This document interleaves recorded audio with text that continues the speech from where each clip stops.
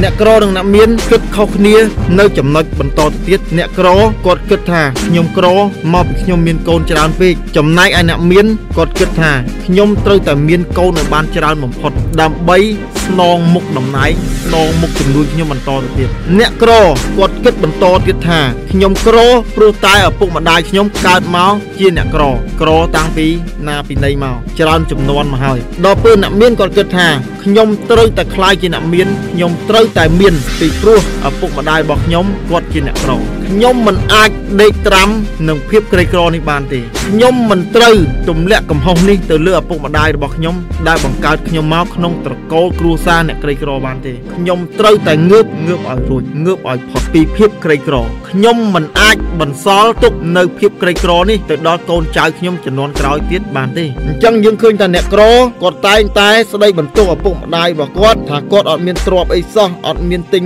កេអាកោដីធ្លីផ្ទះសម្បែងអីសោះបានជាក្រអត់មានទិញអីណែដីឲ្យបានច្រើនសម្រាប់លក់ខ្លាយជាអ្នកមានសោះបានជាក្រមកដល់គាត់ហើយគាត់ឲ្យឪពុកម្ដាយរបស់គាត់ក៏លេចមើលទៅឪពុកម្ដាយរបស់គេអ្នកដតីដែលគេចេះទិញទ្រព្យសម្បត្តិកេអាកោទុកឲ្យទុកឲ្យកូនការគិតខុសគ្នាបន្តទៅទៀតអ្នកក្រគាត់ចូលចិត្តធ្វើការងារគិតតែមើលម៉ោងដល់ពេលអ្នកមានវិញគាត់ធ្វើការងារគាត់មើលតែលទ្ធផលការងារ គឺការគិតនឹងខុសគ្នាដាច់អញ្ចឹងយើងឃើញតែការធ្វើការមើលម៉ោងមានន័យថាបុគ្គលិកនឹងគាត់ធ្វើការដែលអត់យកចិត្តទុកដាក់ក្នុងការបំពេញភារកិច្ចកាតព្វកិច្ចរបស់គាត់ទេគាត់ពងប្រាថ្នាឲ្យតែដល់ម៉ោងដើរលឿនលឿនអាងគាត់បានឈប់សម្រាកអាងគាត់បានទៅងូតទឹកហូបបាយគាត់ទៅដើរលេងយប់អញ្ចឹងការធ្វើការប្រកបដោយការខ្ជិលច្រអូសវាជាទម្លាប់អាក្រក់មួយដែលធ្វើឲ្យជីវិតរបស់គាត់បរាជ័យគាត់មិនអាចខ្លាយទៅជាបុគ្គលិកឆ្នើមរបស់ក្រុមហ៊ុនគាត់មិនអាចខ្លាយទៅជាបុគ្គលិកគំរូរបស់ក្រុមហ៊ុនគាត់មិនអាចទទួលបានការឡើងតំណែងការឡើងប្រាក់ខែញឹកញាប់ពីតកែរបស់គាត់ដោយសារគាត់ធ្វើការចូលចិត្តមើលមើលម៉ោង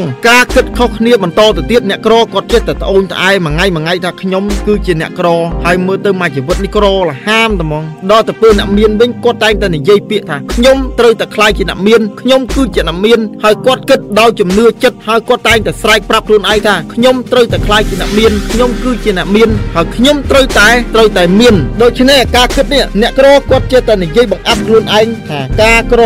នេះខ្ញុំងើបមិនរួចទេខ្ញុំក្រមកជីវិតហើយខ្ញុំគឺជាអ្នកក្រប្រចាំភូមិការនិយាយនឹងគឺជាការបំបាក់ទឹកចិត្តការដែលធ្វើឲ្យខ្លួនរបស់គាត់នឹងគ្មានសេចក្តីក្លាហានគ្មានការរិះខួរក្បាលនៅក្នុងការគិតទៅរកលុយហើយធ្វើឲ្យគាត់យូរយូរទៅគាត់រួញថយលែងចង់មានការពងប្រាថ្នាចង់មានចង់បានអ្វីទាំងអស់អញ្ចឹងការដែលធ្វើឲ្យគាត់បាក់ទឹកចិត្តគឺគ្មានអ្នកណាទេគឺគាត់មាត់របស់គាត់ការគិតរបស់គាត់ដែលបំបាក់ទឹកចិត្តខ្លួនឯងដែលកំណត់ដែនខួរក្បាលនៃការគិតរបស់ខួរក្បាលរបស់គាត់ថាមិនអោយគិតអ្វីធំដុំទេមើលទៅមកជីវិតនេះដឹងតែក្រហើយអញ្ចឹងគាត់លែងចង់មានចង់បានគាត់ចង់តែមករស់រមកសម្រាប់តែមកចាយមកផឹកស៊ីសបាយអញ្ចឹងទៅគាត់អត់ចង់រីកខួរក្បាលគាត់គាត់អត់ចង់ពង្រីកអាជីវកម្មឬក៏ធ្វើការបថុយប្រឋានវិនិយោគបើករកស៊ីអីធំដុំគាត់អត់ទេគាត់ចង់តែមករស់ដោយសារគាត់គិតថាគាត់មិនអាចខ្លាយយ៉ាងមានគាត់ជាអ្នកក្រអញ្ចឹងគាត់នៅដេកត្រាំផុសគាត់អត់ព្រមងើបរលាស់ខ្លួនទៅរកភាពជាអ្នកមានសោះនេះគឺជាការបំបាក់ទឹកចិត្តខ្លួនឯងនិងការដាក់កំណត់ព្រំដែននៃការគិត